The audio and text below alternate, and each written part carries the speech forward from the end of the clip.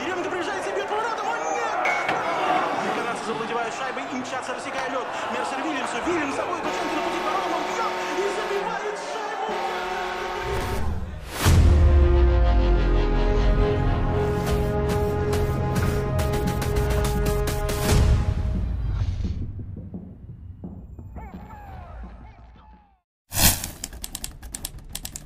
What if everything we think we know about electricity is wrong? What if your home could run on one little crystal that never dies, powering your life for years at a time? It sounds like science fiction, a fairy tale for our modern age.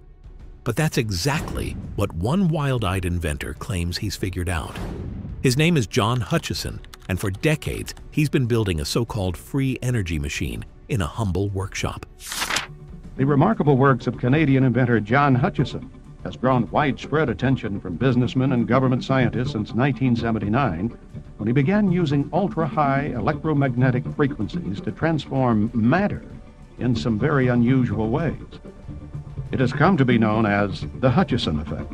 Hutchison is an amateur scientist who has devoted a good part of his adult life trying to prove out the theories of a controversial Yugoslavian physicist named Nikola Tesla. Experimenting with the electromagnetic field is the key to several of John's discoveries. One of them is called the crystal energy converter, or power cell, which seems to produce sustainable electricity from the air around us. Hutchison wasn't trained in any fancy university.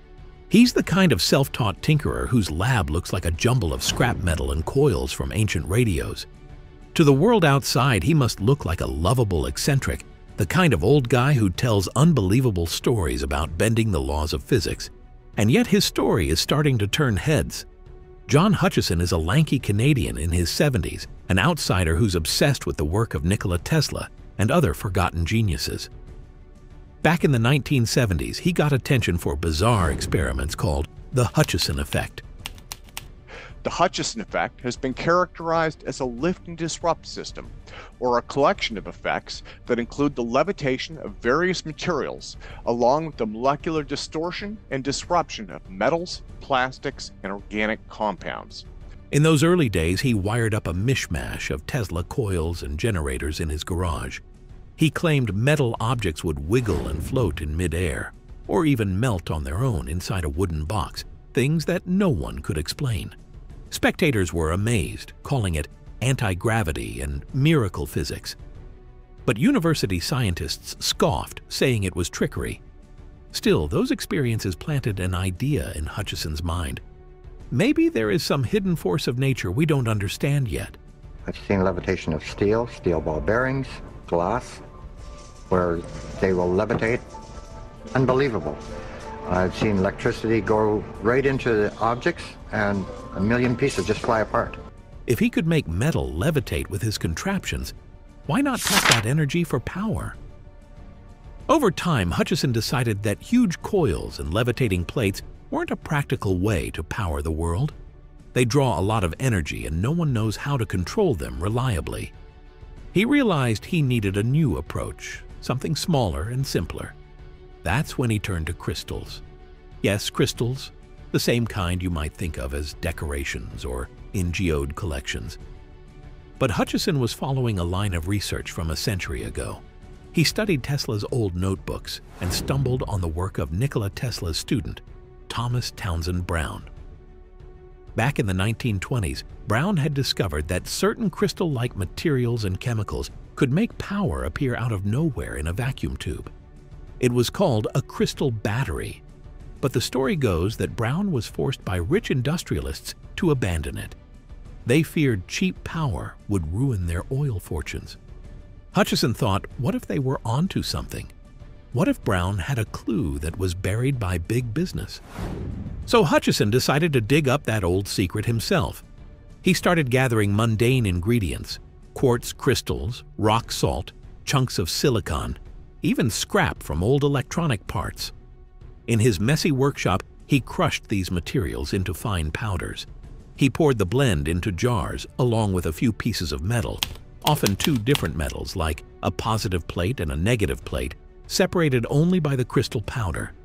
Then he poked a wire, an electrode, into the mix, connected it to his improvised machine, and gave it a jump start with a high voltage jolt, just like jumping a car battery. According to Hutchison's story, something amazing happens next. After that initial kick of electricity, the mixture begins to hum with power all by itself.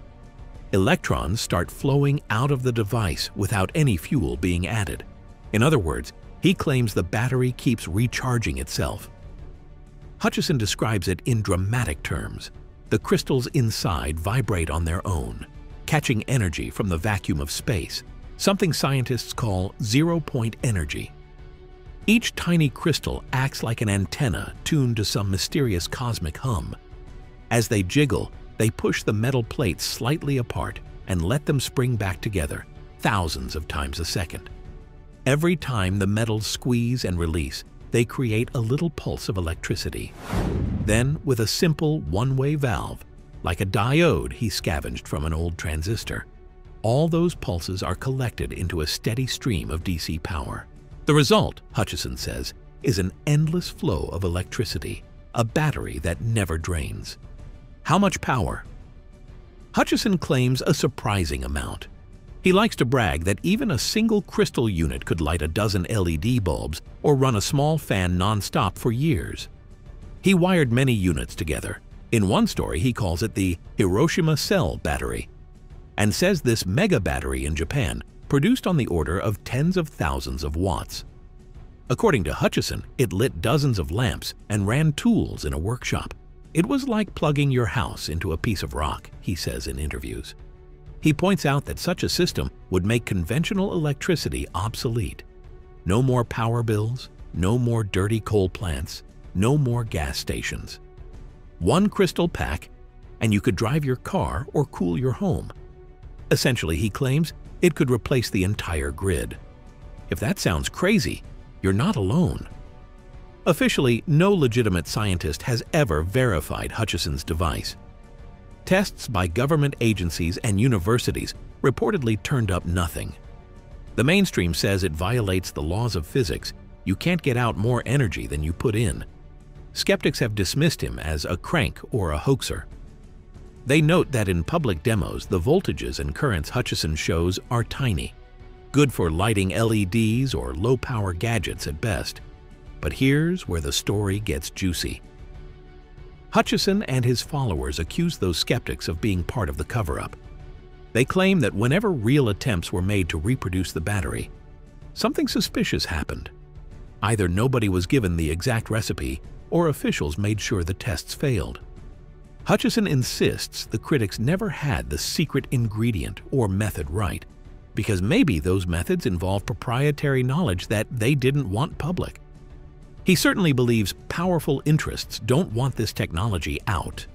Hutchison tells a dark tale. In the 1990s, he and his partner, she goes by Yin, tried to take their lab overseas to keep working.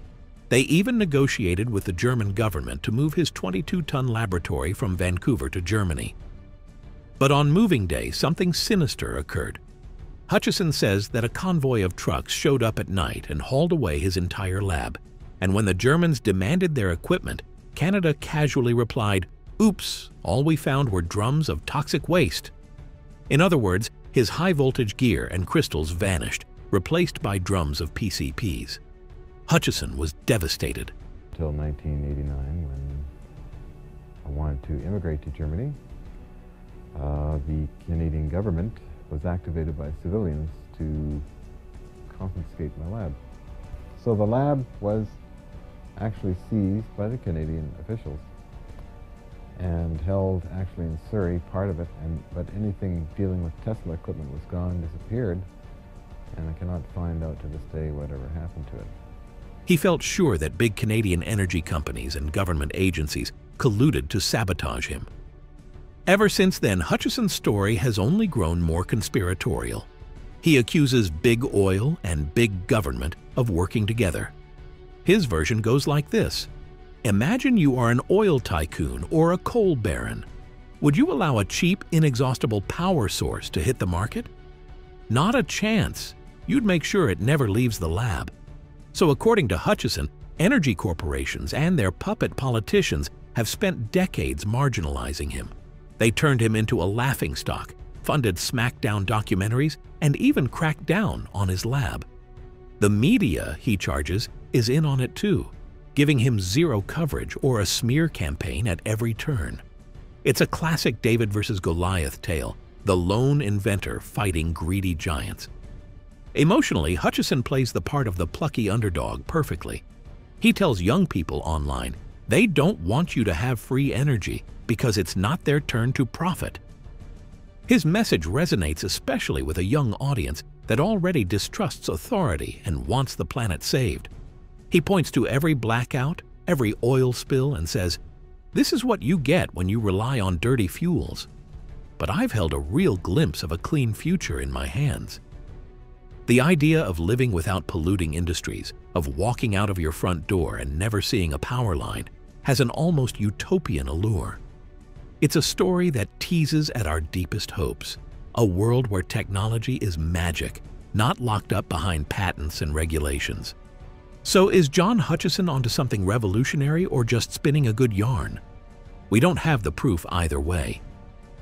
The key is that with powerful corporations on one side and a single inventor on the other, the stakes feel enormous. Hutchison wants us to wonder, if this really was a hoax, why go through all the trouble to bury it?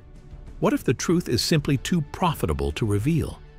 He leaves us with that cliffhanger. Maybe one day, some kid in a garage will build the crystal battery right, and the whole energy industry will be blindsided. For now, Hutchison's crystal generator remains a legend whispered on the internet. The facts are fuzzy, and the science is unverified. But as a dramatic tale, it's hard to beat. A forgotten technology, hidden away by money and power, with the fate of the world hanging on a rock. So the next time you pay your electricity bill, remember John Hutchison.